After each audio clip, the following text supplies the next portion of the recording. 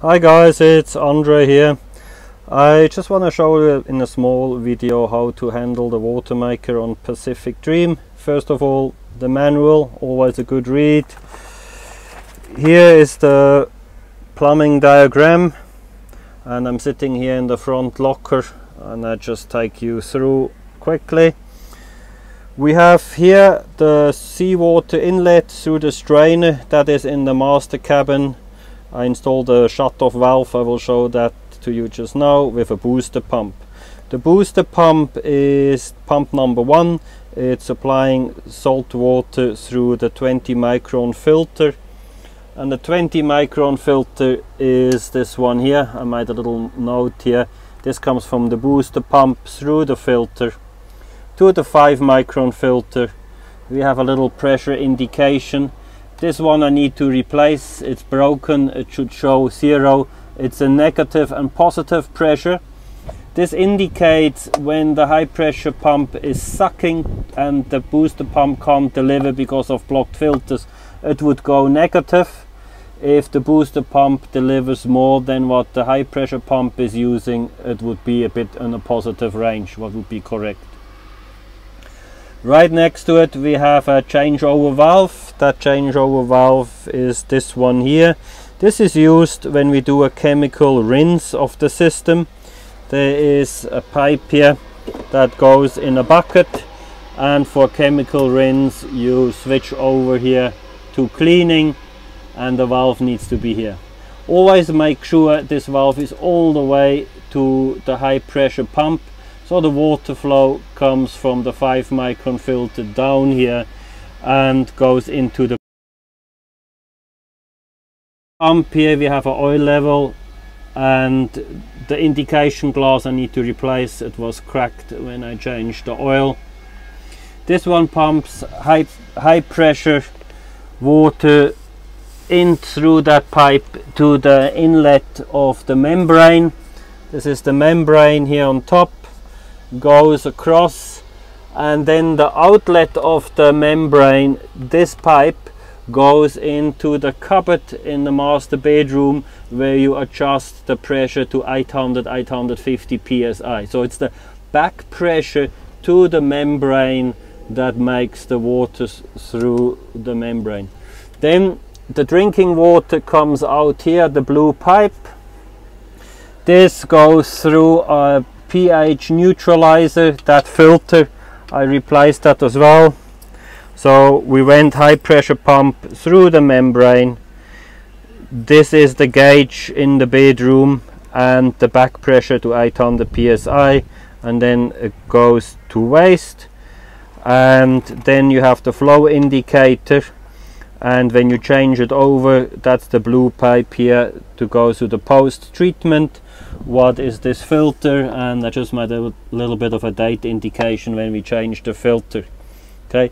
From here the water goes then into the holding tank.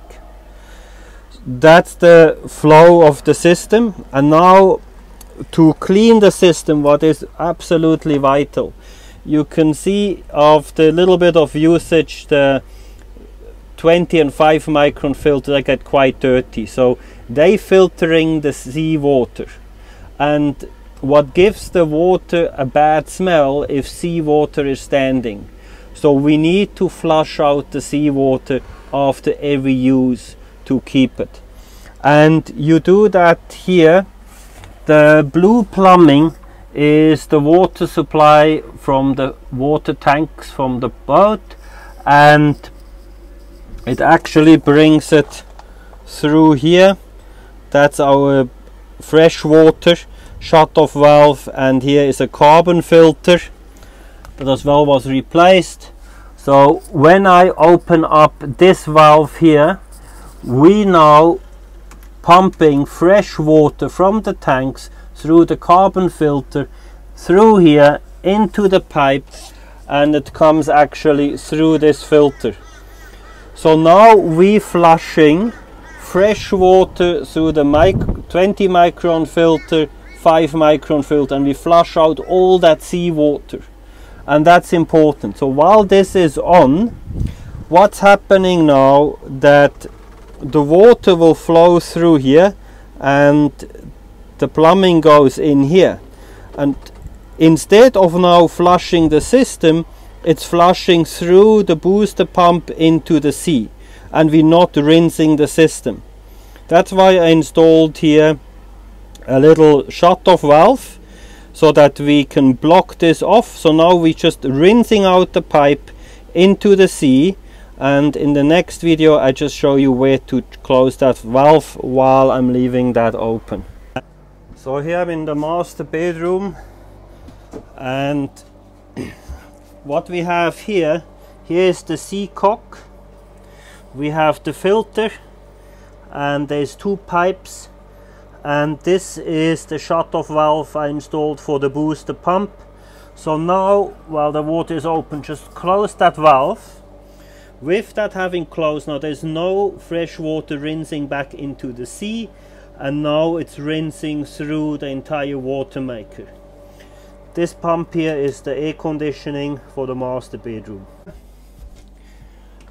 We what I have done I installed as well an hour meter now so that we actually can see for how long we're running the bo booster pump and the high pressure pump.